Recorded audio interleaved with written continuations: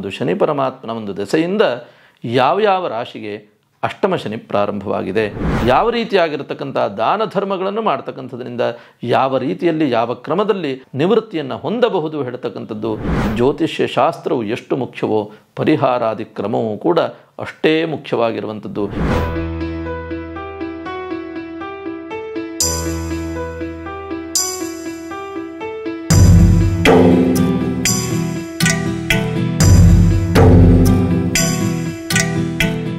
ಪ್ರಿಯ ವೀಕ್ಷಕರೇ ನಮಸ್ಕಾರ. ಕಾರ್ಯಕ್ರಮವನ್ನು ನೋಡಿ ಸುಮ್ಮನಾಗಬೇಡಿ. ನಮ್ಮ ವಾಹಿನಿಯನ್ನ ಸಬ್ಸ್ಕ್ರೈಬ್ ಮಾಡ್ಕೊಳ್ಳಿ. ಸಬ್ಸ್ಕ್ರೈಬ್ ಮಾಡಿ ಪ್ಲೀಸ್ ಮನೋಜವಂ ಮಾರುತ ತುಲ್ಯ ವೇಗಂ. ಜಿತೇಂದ್ರಿಯಂ ಬುದ್ಧಿಮತಾಂ ವರಿಷ್ಠಂ. ವಾತಾತ್ಮಜಂ ವಾನರಯೂಥ ಮುಖ್ಯಂ ಶ್ರೀರಾಮದೂತಂ ಶಿರಸಾ ನಮಾಮಿ. ಅಭಿಮಾನ ದೇವತೆಯಾದಂತಹ ಆಂಜನೇಯ ಸ್ವಾಮಿಯನ್ನು ಮನಸ ಸ್ಮರಿಸುತ್ತ ಎಲ್ಲ ವೀಕ್ಷಕರನ್ನು ಕೂಡ ಪ್ರೀತಿಪೂರ್ವಕವಾಗಿ ಹೆಗ್ಗದ್ದೆ ಸ್ಟುಡಿಯೋದ ಒಂದು ಕಾರ್ಯಕ್ರಮಕ್ಕೆ ತಮ್ಮನ್ನೆಲ್ಲ ಸ್ವಾಗತಿಸ್ತಾ ಇರುವಂತಹ ನಿಮ್ಮ ಪ್ರೀತಿಯ ಡಾಕ್ಟರ್ ಶ್ರೀರಾಮ್ ಭಟ್ ಅವರು ಎಲ್ಲರಿಗೂ ಕೂಡ ನಮಸ್ಕಾರಗಳನ್ನು ತಿಳಿಸ್ತಾ ವೀಕ್ಷಕರ ಇವತ್ತಿನ ಕಾರ್ಯಕ್ರಮವನ್ನು ಪ್ರಾರಂಭಿಸೋಣಲ್ವೇ? ಈಗ ಸಾಧಾರಣವಾಗಿ ಮೂರ್ನಾಲ್ಕು ಎಪಿಸೋಡ್ಗಳಲ್ಲಿ ಆ ಒಂದು ಶನಿದೋಷದ ಒಂದು ವಿಚಾರವಾಗಿಯೇ ಮಾತಾಡಿದ್ದೇನಂತೆ? ಹಾಗಿದ್ದರೆ ಮೊನ್ನೆ ತಾನೇ ಆ ಒಂದು ಮಕರದಿಂದ ಕುಂಭ ಪ್ರವೇಶ ಮಾಡಿರತಕ್ಕಂಥ ಒಂದು ಶನಿ ಪರಮಾತ್ಮನ ಒಂದು ದೆಸೆಯಿಂದ ಯಾವ ಯಾವ ರಾಶಿಗೆ ಅಷ್ಟಮ ಶನಿ ಪ್ರಾರಂಭವಾಗಿದೆ, ಯಾವ ರಾಶಿಗೆ ಪಂಚಮ ಶನಿ ಪೀಡೆ ಹೇಳ್ತಕ್ಕಂಥದ್ದು ನಡೀತಾ ಇದೆ, ಇನ್ನು ಯಾವ ರಾಶಿಗೆ ಅರ್ಧಾಷ್ಟಮ ಶನಿ ಕಾಟವಿದೆ, ಇನ್ನು ಯಾವ ರಾಶಿಗೆ ಏಳ್ರಾಟ ಶನಿ ಪೀಡೆ, ಅರ್ಥಾತ್ ಸಾಡೆ ಸಾತ್ ಶನಿ ದೋಷಕ್ಕೆ ಕಾರಣವಾಗಿದೆ ಹೇಳುವಂಥ ಎಲ್ಲ ವಿಚಾರಗಳನ್ನು ತಿಳಿಸ್ಕೊಟ್ಟಿದ್ದಿದ್ದೆ. ಹಾಗಿದ್ದರೆ ಯಾರಿಗೆ ಅಷ್ಟಮ ಶನಿ, ಅರ್ಧಾಷ್ಟಮ ಶನಿ, ಪಂಚಮ ಶನಿ, ಸಾಡೆ ಸಾತ್ ಶನಿ ನಡೀತಾ ಇದೆ, ಆ ಎಲ್ಲ ವ್ಯಕ್ತಿಗಳು ಖಂಡಿತವಾಗಿಯೂ ಈಗ ನಾನು ಹೇಳ್ತಕ್ಕಂಥ ಕೆಲವಿಷ್ಟು ಪರಿಹಾರ ಮಾರ್ಗಗಳನ್ನು ಅನುಸರಿಸಿದಿರಿ ಅಂತಂದರೆ ಖಂಡಿತವಾಗಿಯೂ ಆ ಒಂದು ಶನಿದೋಷದಿಂದ ವಿಮುಕ್ತರಾಗತಕ್ಕಂಥ ಎಲ್ಲ ಸಾಧ್ಯಾಸಾಧ್ಯತೆಗಳನ್ನು ಕೂಡ ಚಿಂತಿಸಿ ಹೇಳಬಹುದು ಜ್ಯೋತಿಷ್ಯ ಶಾಸ್ತ್ರದ ಪ್ರಕಾರವಾಗಿ. ಯಾಕೆಂದರೆ ನೋಡಿ, ಜ್ಯೋತಿಷ್ಯ ಶಾಸ್ತ್ರದಲ್ಲಿ ಪರಿಹಾರವು ಕೂಡ ಅಷ್ಟೇ ಮುಖ್ಯವಾಗಿರುವಂಥದ್ದು. ಎಷ್ಟೋ ಜನ ಜನ್ಮಜಾತಕ ರೀತಿಯ ಇರತಕ್ಕಂಥ ಈ ಒಂದು ಗ್ರಹ ದೋಷಗಳನ್ನು ಚೆನ್ನಾಗಿ ಅಧ್ಯಯನವನ್ನು ಮಾಡಿ ಹೇಳಬಲ್ಲರು. ಆದರೆ ಕರ್ಮ ವಿಪಾಕವನ್ನು ಅಧ್ಯಯನ ಮಾಡಿಕೊಂಡಿರೋದಿಲ್ಲ. ಹಾಗಿದ್ರೆ ಆ ದೋಷದಿಂದ ವಿಮುಕ್ತರಾಗ್ತಕ್ಕಂಥ ಒಂದು ಬಗೆ ಹೇಗೆ? ಅದಕ್ಕೆ ಶಾಸ್ತ್ರೀಯವಾದಂಥ ಒಂದು ವಿಧಿವಿಧಾನಗಳು ಏನು? ಯಾವ ದೇವತಾ ಆರಾಧನೆಯಿಂದ, ಯಾವ ರೀತಿಯಾಗಿರತಕ್ಕಂಥ ದಾನ ಧರ್ಮಗಳನ್ನು ಮಾಡ್ತಕ್ಕಂಥದ್ರಿಂದ, ಯಾವ ರೀತಿಯಲ್ಲಿ, ಯಾವ ಕ್ರಮದಲ್ಲಿ ಆ ಒಂದು ಗ್ರಹಗಳ ಅನುಷ್ಠಾನ, ಆರಾಧನಾ ಪದ್ಧತಿಯಿಂದ ಖಂಡಿತವಾಗಿಯೂ ಆ ಒಂದು ಗ್ರಹ ದೋಷಗಳಿಂದ ನಿವೃತ್ತಿಯನ್ನು ಹೊಂದಬಹುದು ಹೇಳ್ತಕ್ಕಂಥದ್ದು ಎಷ್ಟೋ ಜನರಿಗೆ ಗೊತ್ತಿರೋದಿಲ್ಲ. ಹಾಗಿದ್ದರೆ ಜ್ಯೋತಿಷ್ಯ ಶಾಸ್ತ್ರವು ಎಷ್ಟು ಮುಖ್ಯವೋ ಪರಿಹಾರಾದಿ ಕ್ರಮವೂ ಕೂಡ ಅಷ್ಟೇ ಮುಖ್ಯವಾಗಿರುವಂಥದ್ದು. ಎಷ್ಟೋ ಜನರಿಗೆ ಕರ್ಮ ವಿಪಾಕದ ಬಗೆಗೆ ಜ್ಞಾನವೇ ಇರೋದಿಲ್ಲ. ಹಾಗಾಗಿ ಒಬ್ಬ ಜ್ಯೋತಿಷಿಯಾಗಿರತಕ್ಕಂಥವನು, ಒಬ್ಬ ದೈವಜ್ಞನಾಗಿರತಕ್ಕಂಥವನಿಗೆ ಪೌರೋಹಿತ್ಯದ ಒಂದು ಲಕ್ಷ್ಯವೂ ಕೂಡ ಇರಬೇಕಾಗುತ್ತೆ. ಒಳ್ಳೆಯ ರೀತಿಯಾಗಿರ್ತಕ್ಕಂತಹ ಪುರೋಹಿತನೂ ಕೂಡ ಆಗಿರಬೇಕಾಗುತ್ತೆ.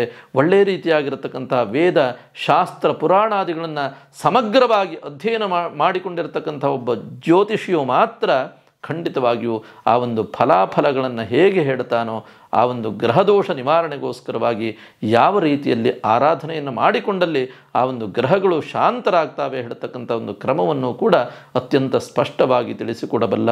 ಹಾಗಿದ್ದರೆ ಯಾರೇ ಜೀವನದಲ್ಲಿ ಶನಿ ಕೋಪಕ್ಕೆ ತುತ್ತಾಗಿದ್ದಲ್ಲಿ ಖಂಡಿತವಾಗಿಯೂ ಈಗ ನಾನು ಹೇಳ್ತಕ್ಕಂಥ ಒಂದು ದೇವತಾ ಆರಾಧನೆಯನ್ನು, ಅನುಷ್ಠಾನವನ್ನು, ಜಪವನ್ನು, ದಾನ ಧರ್ಮಾದಿಗಳನ್ನು ಮಾಡಿಕೊಂಡ್ರಿ ಅಂತಂದರೆ ಖಂಡಿತವಾಗಿಯೂ ಆ ಒಂದು ಶಂಶನಿಹಿ ಆಗ್ತಾನೆ. ನಿಮ್ಮ ಜೀವನದಲ್ಲಿ ಆ ಒಂದು ಶನಿ ಪರಮಾತ್ಮನು ಮಂಗಳಕಾರಕನಾಗಿ ಸಂಪೂರ್ಣವಾಗಿ ಆ ಒಂದು ಶನಿ ಪರಮಾತ್ಮನ ಅನುಗ್ರಹವನ್ನು ನೀವು ಪಡೆದುಕೊಳ್ತಕ್ಕಂಥ ಒಂದು ವ್ಯವಸ್ಥೆ ನಿಮ್ಮ ಲೈಫಲ್ಲಿ ಖಂಡಿತವಾಗಿಯೂ ಒದಗಿ ಬರುತ್ತೆ. ಹಾಗಿದ್ದರೆ ಶಾಸ್ತ್ರವೇ ಹೇಳಿರುವಂತಹ ಈ ಒಂದು ಶ್ಲೋಕದ ಮುಖೇನವಾಗಿ ಅದರ ಅರ್ಥವನ್ನು ಕೂಡ ನಿಮಗೆ ಅರ್ಥವಾಗುವಂತಹ ಒಂದು ದೃಷ್ಟಿಯಿಂದ ಸವಿಸ್ತಾರವಾಗಿ ತಿಳಿಸ್ಕೊಡ್ತೇನೆ. ನೋಡಿ नीलकं महिषं कृष्णं वस्त्रं लोहं तिलं तथा तैलञ्च दक्षिणायुक्तं शनिदोषप्रशान्तये।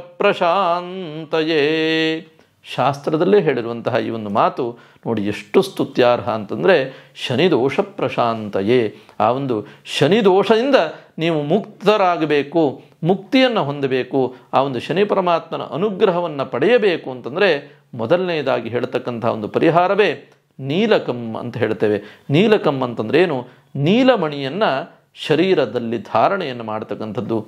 ಉಂಗುರದ ರೂಪದಲ್ಲಿರಬಹುದು ಅಥವಾ ಡಾಲರ್ ರೂಪದಲ್ಲಿರಬಹುದು. ಶರೀರಕ್ಕೆ ನೀಲಮಣಿಯನ್ನು ಧಾರಣೆಯನ್ನು ಮಾಡ್ತಕ್ಕಂಥದ್ದು.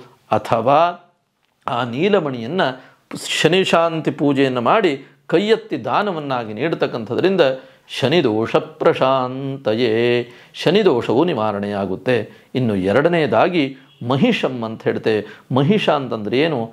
ಕೋಣ ಅಂತ ಅರ್ಥ. ಹಾಗಿದ್ದಿದ್ರೆ ಆ ಒಂದು ಮಹಿಷ ದಾನವನ್ನು ಮಾಡ್ತಕ್ಕಂಥದ್ದು. ಕೋಣನನ್ನ ದಾನವನ್ನಾಗಿ ನೀಡತಕ್ಕಂಥದ್ರಿಂದಲೂ ಕೂಡ ಆ ಒಂದು ಶನಿದೋಷ ಪ್ರಶಾಂತೆಯೇ. ಶನಿಯು ಸಂಪ್ರೀತನಾಗ್ತಾನಂತೆ. ಶನಿಯು ಪ್ರೀತನಾಗಿ ಖಂಡಿತವಾಗಿಯೂ ನಿಮ್ಮ ಒಂದು ಜನ್ಮ ಜಾತಕದಲ್ಲಿ ಆ ಒಂದು ಶನಿದೋಷವನ್ನು ಪರಿಹರಿಸ್ತಕ್ಕಂಥ ಒಂದು ಶನಿ ಪರಮಾತ್ಮನ ಒಂದು ಅನುಗ್ರಹ ಖಂಡಿತವಾಗಿಯೂ ನಿಮಗಳಿಗೆ ಪ್ರಾಪ್ತಿಯಾಗುತ್ತೆ ಅಂತ ಇದೇ ಒಂದು ಶ್ಲೋಕದ ಅರ್ಥವು ಅತ್ಯಂತ ಸ್ಪಷ್ಟವಾಗಿ ತಿಳಿಸುತ್ತೆ. ಇನ್ನು ಕೃಷ್ಣ ವಸ್ತ್ರಂ ಅಂತ ಹೇಳ್ತೇವೆ. ಕೃಷ್ಣ ವಸ್ತ್ರ ಅಂತಂದ್ರೇನು? ಕಪ್ಪು ಬಟ್ಟೆಯನ್ನು ದಾನವನ್ನಾಗಿ ನೀಡತಕ್ಕಂಥದ್ದು. ಯಾರಿಗಾದರೂ ನಿರ್ಗತಿಕರಿಗೆ ಅಥವಾ ಯಾರಿಗೆ ಅವಶ್ಯಕತೆ ಇದೆಯೋ ಅಂತಹ ಅವಶ್ಯಕತೆ ಇರತಕ್ಕಂಥ ವಿಪ್ರೋತ್ತಮರಿಗಿರಬಹುದು. ಅಥವಾ ಯಾರಿಗಾದರೂ ನಿರ್ಗತಿಕರಿಗೆ ಕಪ್ಪು ಬಟ್ಟೆಯ ದಾನವನ್ನು ಮಾಡ್ತಕ್ಕಂಥದ್ರಿಂದಲೂ ಕೂಡ ಆ ಒಂದು ಶನಿ ಪರಮಾತ್ಮನು ಸಂಪ್ರೀತನಾಗ್ತಾನೆ. ಇನ್ನು ಲೋಹಂ ತಿಲಂತಥ ಅಂತ ಹೇಳ್ತೇವೆ. ಲೋಹ ಅಂತಂದ್ರೇನು? ಕಬ್ಬಿಣ ಅಂತ ಅರ್ಥ ಹಾಗಿದ್ರಂತಹ ಕಬ್ಬಿಣವನ್ನು ತ್ರಿಶೂಲದ ಒಂದು ರೂಪದಲ್ಲಿ ಮಾಡಿ ದಾನವನ್ನಾಗಿ ನೀಡತಕ್ಕಂಥದ್ರಿಂದ ಅಥವಾ ಆ ಒಂದು ಕಬ್ಬಿಣದ ಕತ್ತಿಯನ್ನು ದಾನವನ್ನಾಗಿ ನೀಡತಕ್ಕಂಥದ್ರಿಂದಲೂ ಕೂಡ ಆ ಒಂದು ಶನಿ ಪರಮಾತ್ಮನು ಬಹಳ ಸಂಪ್ರೀತನಾಗ್ತಾನಂತೆ. ಇನ್ನು ತಿಲಂತಥ ಕಪ್ಪು ಎಳ್ಳನ್ನು ಕೈಯೆತ್ತಿ ದಾನವನ್ನಾಗಿ ನೀಡತಕ್ಕಂಥದ್ದು ಕಪ್ಪು ಎಳ್ಳನ್ನು ದೀಪದ ಒಂದು ರೂಪದಲ್ಲಿ ಕಪ್ಪು ಎಳ್ಳು ಬತ್ತಿಯ ದೀಪವನ್ನು ಹಚ್ಚತಕ್ಕಂಥದ್ರಿಂದಲೂ ಕೂಡ ಆ ಒಂದು ಶನಿದೋಷವು ನಿವಾರಣೆಯಾಗುತ್ತೆ. ಅಥವಾ ತಿಲತೈಲಾಭಿಷೇಕವನ್ನು ಮಾಡಿಸ್ತಕ್ಕಂಥದ್ರಿಂದ ಅದೇ ಶನಿ ಪರಮಾತ್ಮನಿಗೆ ಎಳ್ಳೆಣ್ಣೆಯ ಅಭಿಷೇಕವನ್ನು ಮಾಡ್ತಕ್ಕಂಥದ್ರಿಂದಲೂ ಕೂಡ ಆ ಒಂದು ಶನಿ ಪರಮಾತ್ಮನ ಒಂದು ಅವಕೃಪೆಯು ನಿವಾರಣೆಯಾಗುತ್ತೆ. ಅಥವಾ ಇನ್ನೊಂದು ವಿಶೇಷವಾದಂತಹ ಒಂದು ಪರಿಹಾರವನ್ನು ಶಕ್ತಿ ಇರ್ತಕ್ಕಂಥವರಿಗೆ ಸೂಚಿಸ್ತೇನೆ. ಈ ಒಂದು ಸಾಡೆ ಸಾತ್ ಶನಿದೋಷ ನಡೀತಾ ಇರತಕ್ಕಂಥ ಒಂದು ಸಂದರ್ಭದಲ್ಲಿ ತ್ರಯೋವಿಂಶತಿ ಮಂದೇಚ ಅಂತ ಶಾಸ್ತ್ರ ಹೇಳುತ್ತೆ. ತ್ರಯೋವಿಂಶತಿ ಮಂದೇಚ ಅಂತಂದ್ರೇನು? ಒಂದೊಂದು ಗ್ರಹಗಳಿಗೆ ಇಷ್ಟು ಸಾವಿರ ಜಪಗಳನ್ನು ಮಾಡಬೇಕು ಅಂತ ಶಾಸ್ತ್ರವು ಆದೇಶವನ್ನು ಹೇಳುತ್ತೆ. ಅದೇ ಪ್ರಕಾರವಾಗಿ ತ್ರಯೋವಿಂಶತಿ ಮಂದೇಚ. ತ್ರಯೋವಿಂಶತಿ ಅಂತಂದ್ರೇನು? ಇಪ್ಪತ್ತ್ಮೂರು ಸಾವಿರ ಶನಿ ಜಪವನ್ನು ಆಚರಿಸಿ ಅದೇ ಪ್ರಕಾರವಾಗಿ ಎರಡು ಸಾವಿರದ ಮುನ್ನೂರು ಸಂಖ್ಯೆಯಲ್ಲಿ ಶನಿ ಶಾಂತಿ ಹೋಮವನ್ನು ಆಚರಿಸಿ ಶನಿಗ್ರಹಕ್ಕೆ ಅಧಿದೇವತೆಯಾಗಿರತಕ್ಕಂತಹ ಯಮನನ್ನು ಶನಿಗ್ರಹಕ್ಕೆ ಪ್ರತ್ಯಧಿದೇವತಾ ಸ್ವರೂಪಿಯಾದಂತಹ ಒಂದು ಪ್ರಜಾಪತಿ ಜಪವನ್ನು ಕೂಡ ತದ್ದಶಾಂಶ ಸಂಖ್ಯೆಯಲ್ಲಿ ಆಚರಿಸಿ, ತದ್ದಶಾಂಶ ಸಂಖ್ಯೆಯಲ್ಲಿ ಹೋಮವನ್ನು ಕೂಡ ಮಾಡಿ ಆ ಒಂದು ವ್ಯಕ್ತಿಯ ತೂಕದ ಎಳ್ಳನ್ನು, ಕಪ್ಪು ಎಳ್ಳನ್ನು ಎಂಟು ಜನ ಬ್ರಾಹ್ಮಣರಿಗೆ, ವಿಪ್ರೋತ್ತಮರಿಗೆ ದಾನವನ್ನಾಗಿ ನೀಡತಕ್ಕಂಥದ್ರಿಂದಲೂ ಕೂಡ ಶನಿದೋಷ ಪ್ರಶಾಂತಯೇ ಶನಿದೋಷವು ನಿವಾರಣೆಯಾಗುತ್ತೆ ಹೇಳುವಂಥದ್ದನ್ನು ಅತ್ಯಂತ ಶಾಸ್ತ್ರೀಯವಾಗಿ ಈ ಎಲ್ಲ ವಿಧವಾಗಿರತಕ್ಕಂತಹ ಒಂದು ಪರಿಹಾರ ಕ್ರಮಗಳನ್ನು ನೀವು ಜೀವನದಲ್ಲಿ ಆಚರಿಸ್ತಕ್ಕಂಥದ್ರಿಂದ ಖಂಡಿತವಾಗಿಯೂ ಶನಿದೋಷದಿಂದ ಮುಕ್ತರಾಗಬಹುದು ಹೇಳ್ತಕ್ಕಂಥದ್ದೇ ಇವತ್ತಿನ ದಿನ ವಿಶೇಷತೆ.